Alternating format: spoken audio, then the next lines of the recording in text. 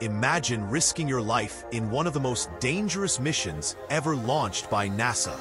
And just as you enter lunar orbit, out of the corner of your eye, you spot it. A floating turd. Yes, this actually happened.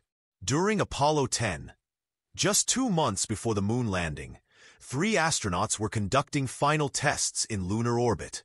Suddenly, in the middle of their report to Houston, a mysterious brown object floated by.